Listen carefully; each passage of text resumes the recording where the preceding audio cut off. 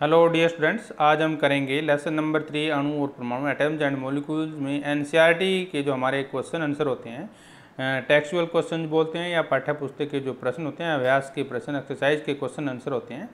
और ये क्वेश्चन बड़े इंपॉर्टेंट होते हैं। यहाँ से ही हमारे जो क्विज टाइप क्वेश्चन होते हैं मल्टीपल चॉइस क्वेश्चन होते हैं। C TET H TET Haryana staff selection commission job exam होते हैं जो और कम्पिटेटिव एग्ज़ाम होते हैं, हरियाणा सिविल सर्विसेज़ आईएएस के एग्ज़ाम होते हैं या किसी भी बोर्ड का स्टेट बोर्ड का या सीबीएसई का एग्ज़ाम होता है, यहाँ से ही क्वेश्चन ज़्यादातर बनते हैं। तो बड़े इंपॉर्टेंट क्वेश्चन होते हैं तो नोट कीजिएगा और ध्यान से समझिएगा। तो क्वेश्चन नंबर फ़र्स्ट पे चलते हैं। आई एम राजेंद्र कुमार और आप देख रहे हैं आपका अपना channel physics dot edu dot Rajendra first question क्या कहता है? ध्यान से देखिए। एक अभिक्रिया में 5.3 ग्राम सोडियम कार्बोनेट और 6.0 ग्राम एथोनोइक अम्ल अभिकृत होते हैं। ठीक है? और 2.2 ग्राम कार्बन डाइऑक्साइड और 8.2 ग्राम सोडियम एथोनोइट और 0.9 ग्राम जल उत्पाद के रूप में प्राप्त होते हैं। इस अभिक्रिया द्वारा दिखाइए कि यह परीक्षण द्रव्यमान संरक्षण के अनुसार होता है।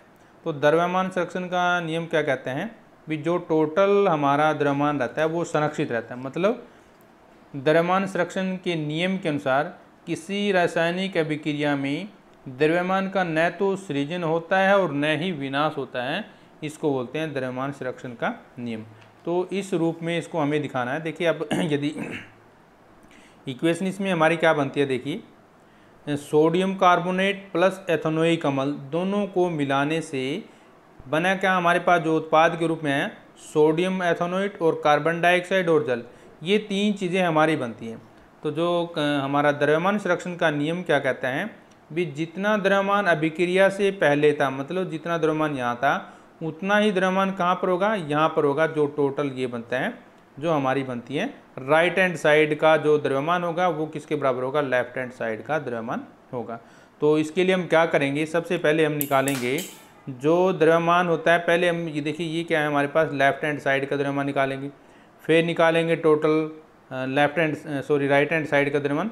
यानी कि लेफ़्ट हैंड साइड और राइट हैंड साइड दोनों का द्रव्यमान निकालेंगे, दोनों सेम आने चाहिए।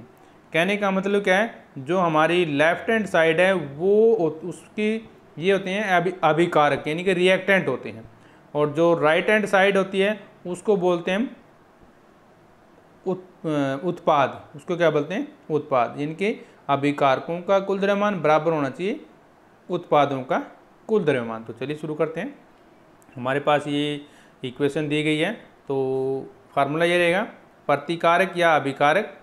क्या है हमारे पास सोडियम कार्बोनेट प्लस एथोनोइक अम्ल? और प्रतिफल क्या है हमारे पास? Sodium ethanoate plus carbon dioxide और जल। तो ये होगी तो इसका मतलब ये द्रव्यमान निकालेंगे, फिर दूसरी साइड का द्रव्यमान निकालेंगे। अगर वो दोनों बराबर आते हैं तो इसका मतलब द्रव्यमान संरक्षण का नियम काम किया है। तो पहले लगाते हैं हम अभिकारक के रूप में। अभिकारक का मतलब जो हमारी लेफ़्ट हैंड साइड है, उसमें लगाते हैं।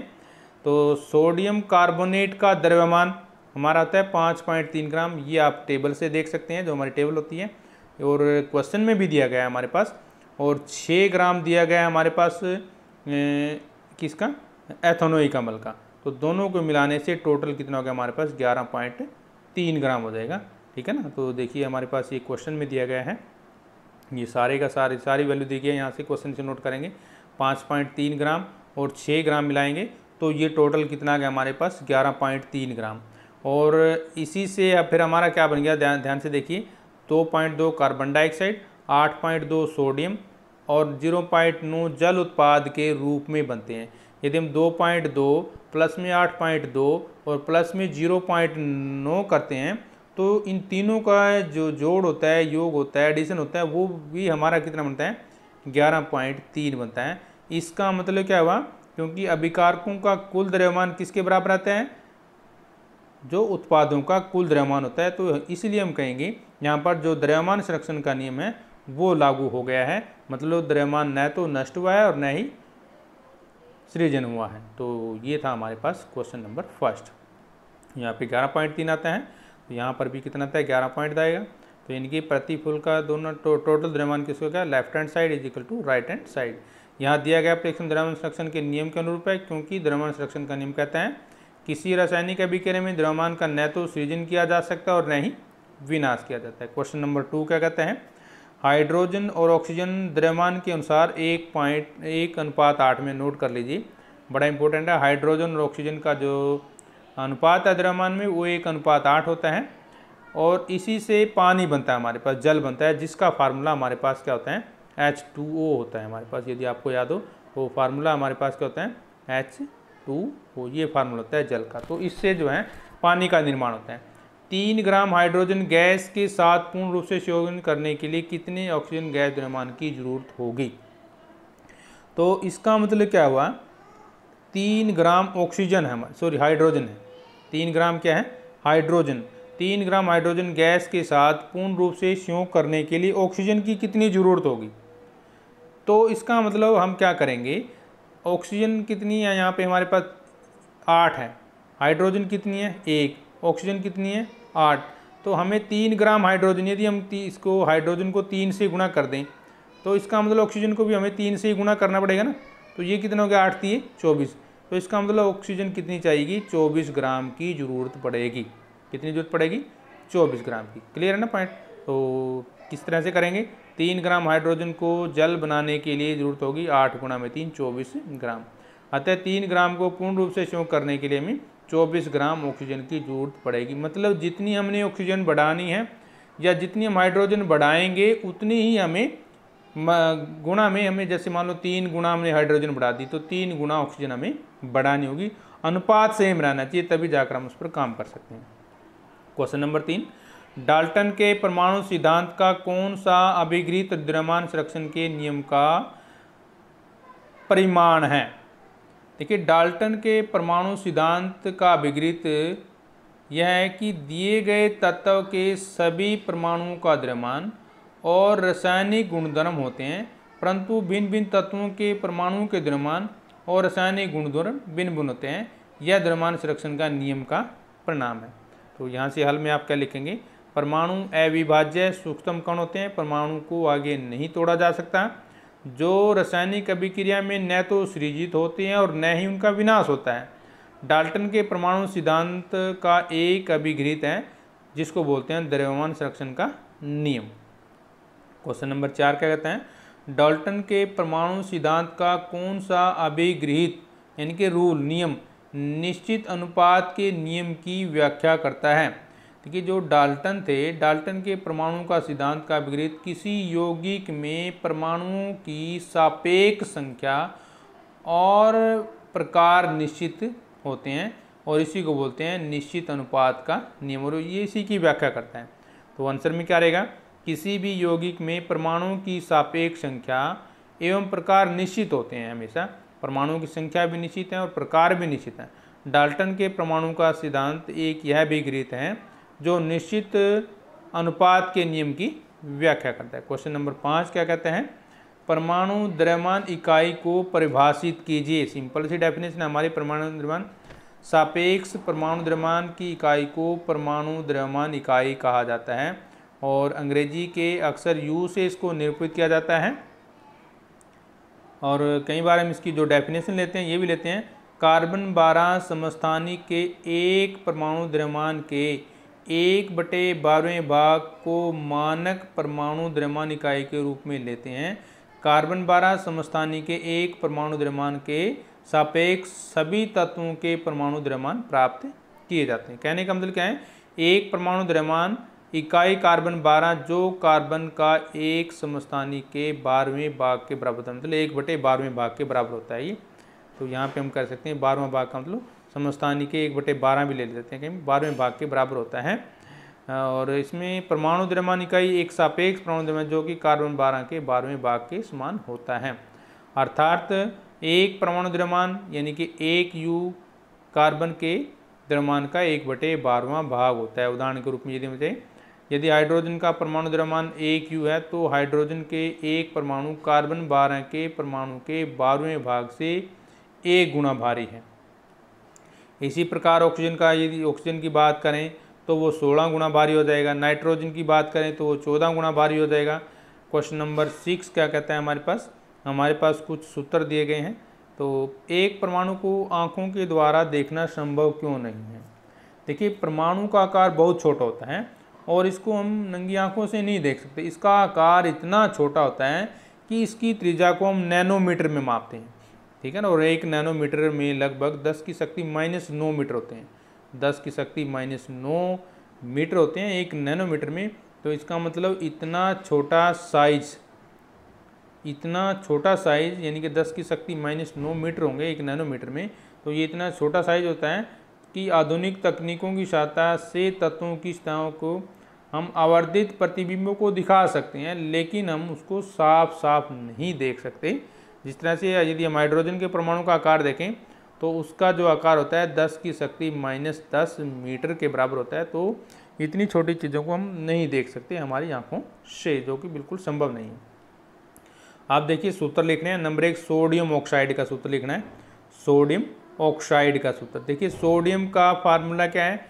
एन ए ठीक है? और ऑक्सीजन का फार्मूला क्या है हमारे पास? ओ सोडियम की संयोजकता कितनी आपने पढ़ी हो? एक। और ऑक्सीजन की संयोजकता कितनी है? दो। फिर हम क्या करते हैं? क्रॉस मल्टीप्लाई करेंगे। तो फार्मूला क्या बनेगा हमारे पास? N A two cross multiply में ओ तो ये बन गया हमारे पास सोडियम ऑक्साइड का फार्मूला।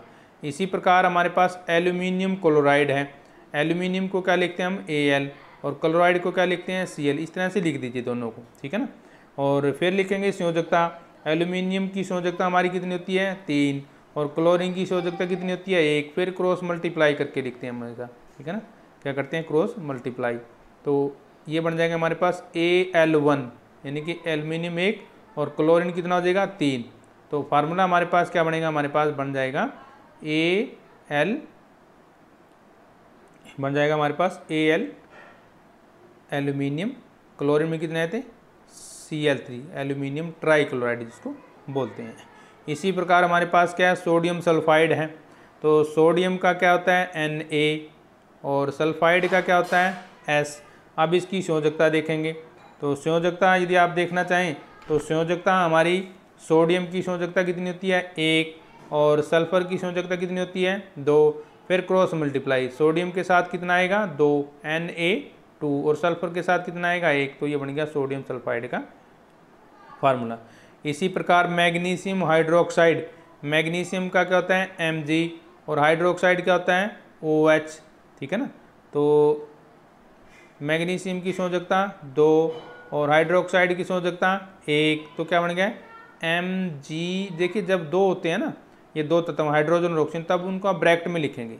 इस तरह से ब्रैक्ट में लिखेंगे और जो शक्ति आएगी वो नीचे आ जाएगी। तो ये बन गया मैग्नीशियम हाइड्रो ऑक्साइड तो आप इस तरह से लिख सकते हैं, देखिए। सोडियम का संकेत एन ऑक्साइड का संकेत ओ सोडियम की संयोजकता प्लस एक और ऑक्साइड की संयोजकता माइनस दो। तो इस तरह से हम लेकर चलेंगे। तो तत्व का प्रतीक लिखेंगे सोडियम और ऑक्सीजन हो जाएगा। तो यहाँ पे संयोजकता सोडियम की है, ये ऑक्सीजन की संयोजकता है। फिर दोनों को क्रॉस मल्टीप्लाई करेंगे तो सोडियम ऑक्साइड का फार्मूला जाएगा। इसी प्रकार एल्यूमिनियम क्लोराइड में पहले हम क्या लिखेंगे? संकेत लिखने हमें। एल्यूमिनियम का संकेत, क्लोरीन का संकेत, इसकी संयोजकता और फिर क्लोरीन की संयोजकता फिर हम दोनों तत्वों को साथ साथ लिखेंगे संयोजकता नीचे लिखेंगे, क्रॉस मल्टीप्लाई करेंगे तो ये आ जाएगा हमारे पास एल्यूमिनियम ट्राइक्लोराइड का। ऐसे ही सोडियम सल्फाइड का। सोडियम का संकेत कितना है हमारे पास? एन ए। सल्फाइड का कितना है? एस। संयोजकता दोनों की एक और दो। फिर इस तरह से लिखना है हमें। क्रॉस मल्टीप्लाई करके लिखेंगे। तो एन ए टू एस हो जाएगा। इसी प्रकार मैग्नीशियम। हाइड्रोक्साइड का फार्मूला बनेगा। मैग्नीशियम का संकेत क्या है? एम जी हाइड्रोक्साइड का क्या है? ओ मैग्नीशियम की संयोजकता कितनी है? दो। और हाइड्रोक्साइड की संयोजकता कितनी है? माइनस एक। लेकिन यहाँ पर हम पॉजिटिव ही लेके चलते हैं। तो इसके नीचे दो आ जाएगा, इसके नीचे एक आ जाएगा तो फार्मूला क्या बन गया? M G O H two ठीक है ना? अब क्वेश्चन नंबर एट निम्नलिखित सूत्रों द्वारा प्रदर्शित यौगिकों के नाम लिखिए। देखिए, जब इस तरह के क्वेश्चन होते हैं और सिर्फ़ हमें नाम लिखने होते हैं ना तो उसमें सिर्फ़ नाम लिखेंगे हम। देखिए, ये क्या है? एक तत्व योग हो, दूसरा ये हो। यौगिक बोलते हैं इसको। एल्यूमिनियम तो और ये क्या है? सल्फेट। तो क्या बन गया? Aluminium, sulphate. ये क्या है? सी ए सी एल टू सी ए का मतलब कैल्शियम और सी एल टू का मतलब क्लोराइड। तो क्या बन गया? Calcium, chloride. आगे क्या है हमारे पास? पोटेशियम और सल्फेट। तो क्या बनेगा? Potassium, sulphate. के के से पोटेशियम थ्री का होता है नाइट्रेट तो पोटेशियम नाइट्रेट बन गया। आगे क्या है? कैल्शियम कार्बोनेट तो कैल्शियम कार्बोनेट। तो ये देखिए आपके सामने टेबल रही। इस तरह से यौगिक का नाम लिखेंगे। इस यौगिक का नाम ये हो गया और इसका ये हो गया, इसका ये है, इसका ये तो आप इसको आसानी से कर सकते हैं। Next question question number nine, रासायनिक सूत्र से क्या अभिप्राय है? क्या होते हैं रासायनिक सूत्र? किसी यौगिक का रासायनिक सूत्र और उसके संगठन का प्रतीकात्मक रूप होता है। रासायनिक सूत्र की मदद से किसी भी यौगिक को हम आसानी से लिख सकते हैं, उसकी जानकारी ले सकते हैं और यौगिकों के शब्दों में नाम लिखकर नहीं किया जाता। जैसे कैल्शियम क्लोराइड है, हमें इतना बड़ा लिखने की ज़रूरत नहीं है तो ये सिंपल लिखेंगे सी ए सी एल टू लिख देंगे तो ये कैल्शियम क्लोराइड हो जाएगा। ऐसे मान लो पानी लिखना है, पानी की जगह हम क्या लिखेंगे? एच टू ये हो गया उसका रासायनिक संकेत हो जाएगा। नेक्स्ट पॉइंट देखिए। ये फार्मूला निम्न में कितने परमाणु विद्यमान होंगे? देखिए, परमाणुओं की संख्या हम यहीं सीखेंगे देखिए एच टू एस है। तो हाइड्रोजन में एच टू तो दो हो गए परमाणु टोटल और सल्फ़र में कितना है? एक। तो टोटल कितने हो गए? तीन। इसी प्रकार हम लेंगे पी ओ फोर में पोटेशियम जो हमारा आयन दिया गया। तो पी में तो कितना है? एक है। और ऑक्सीजन में यदि आप देखें कितने हैं? चार तो टोटल कितने हो जाएँगे? पाँच। तो परमाणु हमें गिनने हैं। जितने उसके साथ अंक लगे हैं, उसी की संख्या हो जाती है उसके परमाणु में। तो इस नाम का हो जाएगा इस तरह से कम्बिनेशन अब निकालते हैं आणविक द्रव्यमान। बिल्कुल आसान है। एच टू तो एच टू का आणविक द्रव्यमान निकालेंगे। हाइड्रोजन है ना? तो हाइड्रोजन कितनी यहाँ पे? दो। तो दो आ जाएगा। और द्रव्यमान कितना होता है हाइड्रोजन का? एक। तो दो एक कितने होगा? दो यू यू क्या है? इसकी इकाई है मापने की। इसी प्रकार ऑक्सीजन है, देखिए ऑक्सीजन कितनी है? दो तो दो से गुणा हो जाएगा। और ऑक्सीजन का द्रव्यमान कितना है? सोलह है तो सोलह गुणा दो, बत्तीस हो जाएगा, ठीक है ना? इसके बाद क्लोरीन क्लोरीन कितनी है? दो तो दो आ गया पहले। और क्लोरीन का द्रव्यमान कितना है? पैंतीस पॉइंट पाँच। दोनों को गुणा करें कितना का? इकहत्तर यू इसके बाद देखिए सी ओ टू सी ओ टू में दो चीज़ें हमारे पास, एक तो कार्बन और एक ऑक्सीजन तो दोनों का अलग अलग जोड़ेंगे। कार्बन का कितना है? बारह। पल ऑक्सीजन ऑक्सीजन कितनी है? दो। और इसका द्रव्यमान कितना होता है? देखिए, ये लिया हमने, बत्तीस होता है ना तो यहाँ से सोलह गुणा दो हो जाएगा तो टोटल कितना हो गया? फोर्टी फोर हो जाएगा। इसी प्रकार देखिए मिथेन में भी दो हैं तो पहले कार्बन जोड़ेंगे कार्बन का बारह होता है और हाइड्रोजन कितनी है? चार है, और इसका द्रव्यमान कितना होता है? एक तो चार गुणा एक तो टोटल कितना आ गया? सोलह आ जाएगा। इसी प्रकार देखिए सी टू और एच सिक्स सी कितनी है? दो तो दो लिख दिया पहले हमने, और द्रव्यमान कितना है? देखिए, बारह ले रहे हैं बार बार तो इसलिए बारह आ गया हमारे पास, ठीक है ना? प्लस में अब क्या करते हैं, देखिए हाइड्रोजन कितनी है यहाँ पे? छः दी गई है। तो छः और हाइड्रोजन का द्रव्यमान कितना है? देखिए बार बार यूज़ कर रहे हैं हम। तो एक छः गुना एक तो दोनों को जोड़ेंगे, गुणा करके तो कितना आ गया?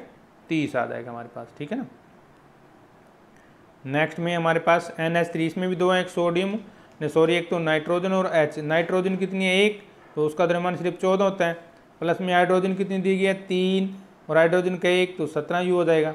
इसके बाद देखिए C H three O H इसमें कितने हैं हमारे पास? सी हो गया एच हो गया, और ओ हो गया, और फिर एच आ गया दोबारा क्या ना? तो इनका हम सबका जोड़ करेंगे। तो सी का कितना गया? बारह। हाइड्रोजन कितनी है हमारे पास? ठीक है ना? तीन ये होगी और एक ही होगी। चार होगी ना? एक ही होगी और तीन ये। चार, इसलिए चार गुना में एक आ जाएगा। और फिर हमारे पास आ गया ओ ऑक्सीजन का कितना था? सोलह। टोटल कितना आ जाएगा हमारे पास? बत्तीस यू क्वेश्चन नंबर बारह देखिए। निम्नलिखित यौगिकों के सूत्र इकाई द्रव्यमान का प्रकरण कीजिए, जैसे जिंक ऑक्साइड, सोडियम ऑक्साइड और पोटेशियम कार्बोनेट दिया गया है। जिंक का परमाणु द्रव्यमान दिया गया है, सोडियम का दिया गया है और जितने भी हमारे हैं सभी का द्रव्यमान दिया गया है तो हमें इसका निकालना है। अब देखिए। तो जिंक ऑक्स, जैसे हमने अभी पिछला क्वेश्चन किया सेम इसी तरह से हम करेंगे। जिंक ऑक्साइड का सूत्र, इसमें कितने हो गए दो हो गए जिंक और ऑक्साइड। तो जिंक का कितना होता है हमारे पास? एक गुणा पैंसठ हो जाएगा, क्योंकि एक ही जिंक है ना। प्लस में ऑक्सीजन कितनी है? एक गुणा में सोलह। सेम जैसे हमने पिछला क्वेश्चन किया है। तो दोनों को जोड़ के टोटल कितना आ गया? इक्यासी हमारे पास आ गया। अब एन ए टू ओ अब सोडियम कितनी है? दो। तो दो आ गया पहले। और सोडियम का कितना होता है? तेईस गुना दो हो जाएगा। इसी प्रकार ऑक्सीजन एक ही है तो सोलह गुना एक हो जाएगा। तो टोटल जोड़ के कितना आ गया हमारे पास? सिक्सटी टू अब के टू सी ओ थ्री इसमें हमारे पास तीन हो गए। एक तो के हो गया और एक सी हो गया और एक ओ हो गया। के कितना है? ए दो और सी कितना है? एक और ओ कितना है? तीन। इसमें देखना है। अणु कितने? अणु की मात्रा देखेंगे ना? तो पोटेशियम दो है तो इसलिए दो गुना उनतालीस हो जाएगा। और उसके बाद कार्बन एक ही है तो गुणा बारह हो जाएगा। ऑक्सीजन कितनी है यहाँ पे? तीन तीन गुना सोलह आ जाएगा। तो तीनों को जोड़ने से हमारे पास बन गया एक सौ अड़तीस यू क्वेश्चन नंबर तेरह। यदि कार्बन परमाणुओं के एक मोल का द्रव्यमान बारह ग्राम है तो कार्बन के एक परमाणु का द्रव्यमान कितना होगा? बिल्कुल आसान है। कार्बन का मोल द्रव्यमान कितना होता है हमारे पास पता है? बारह ग्राम होता है और एक मोल में कितने परमाणु होते हैं? जितने छः दशमलव ज़ीरो दो दो गुणा दस की शक्ति तेईस परमाणु होते हैं एक मोल में तो यहाँ पे कितना हो गया मोल में? ये आ गया इसका मतलब क्या हुआ? छः दशमलव ज़ीरो दो दो गुणा दस की शक्ति तेईस परमाणु कार्बन का द्रव्यमान कितना हो गया? बारह ग्राम हो गया। और एक का कितना आ जाएगा? जैसे मैथ के सवाल करते हैं, बटे में आ जाएगा। ये। तो भाग करने से हमारे पास कितना गया एक पॉइंट नौ नौ तीन गुणा दस की शक्ति माइनस तेईस gram question number fourteen last question है, हमारे पास, ये textual question question number fourteen किसमें अधिक परमाणु होंगे? 100 ग्राम सोडियम अथवा 100 ग्राम लोहा? फार्मूला एफ़ पी होगा और सोडियम का एन होता है। दोनों का परमाणु द्रव्यमान भी दिया गया है। सोडियम का कितना है? तेईस और फेरिस का कितना है? फिफ्टी सिक्स बिल्कुल आसान हम दोनों का निकालेंगे, पहले निकालेंगे सोडियम का। और फिर निकालेंगे आयरन। तो पहले हमें मोलर द्रव्यमान पता होना चाहिए। क्या पता होना चाहिए? मोलर द्रव्यमान। तो यहाँ पे तेईस दिया गया है और ये छप्पन दिया गया है। यहीं से हम सवाल करेंगे। देखिए एग्जैक्टली जो सोडियम का मोलर द्रव्यमान कितना होता है? बाईस ग्राम होता है। यहाँ पे तेईस दिया गया तो हम यहाँ पे बाईस यूज़ करेंगे। बाईस ग्राम होता है। और एक मोल में कितने परमाणु होते हैं? याद रख लीजिए। एक मोल में इस तरह के सवाल करने के लिए आपको ये दो चीज़ें चाहिए एक तो मोलर द्रव्यमान और एक परमाणु संख्या कितनी होती है। इसके बाद तेईस ग्राम उसने दिया गया है। तो तेईस ग्राम सोडियम में परमाणुओं की संख्या कितनी है? जितनी ये है। और एक ग्राम में कितनी हो जाएगी? छः दशमलव ज़ीरो दो दो गुणा दस की शक्ति बटे तेईस आ जाएगी। ये बटे आ गया। जैसे मैथ के सवाल करते हैं। ज़्यादा में दिए गए और कम में निकालने तो हम भाग करते हैं। तो निकालने कितने हमें सौ ग्राम में। तो गुणा में हमने कितना कर दिया? सौ ग्राम। तो भाग करने, गुणा करने से आ गया छब्बीस पॉइंट अठारह गुणा दस की शक्ति तेईस। इसी प्रकार करेंगे लोहे का मोल द्रव्यमान कितना है? छप्पन ग्राम। और एक मोल में कितने अणु होते हैं? छः दशमलव ज़ीरो दो दो गुणा दस की शक्ति तेईस होते हैं। फिर सेम ऐसे ही छप्पन ग्राम लोहे में परमाणुओं की संख्या कितनी होती है? ये। एक ग्राम में कितनी होगी? बटे में छप्पन। सौ ग्राम में कितनी होगी? गुणा में सौ। तो आंसर कितना आ गया? दस पॉइंट सात पाँच गुणा में दस की शक्ति तेईस। तो यहाँ पे ये कितना आया? दस पॉइंट पचहत्तर। और वो कितना आया? देखिए यहाँ पे छब्बीस पॉइंट अठारह। तो इस तरह हम कह सकते हैं, दोनों को यदि देखें तो 100 ग्राम सोडियम में 100 ग्राम लोहे की अपेक्षा अधिक परमाणु होंगे। तो ये था हमारे पास आज का वीडियो, जिसमें हमने जो है आज टेक्सुअल क्वेश्चन किए हैं, जो पार्ट के बीच बीच में क्वेश्चन होते हैं। नेक्स्ट वीडियो में हम लेंगे अभ्यास के प्रश्न उत्तर। तो चलते हैं नेक्स्ट वीडियो के लिए। तब तक लेते हैं थोड़ा सा इजाज़त आपसे। जय हिंद।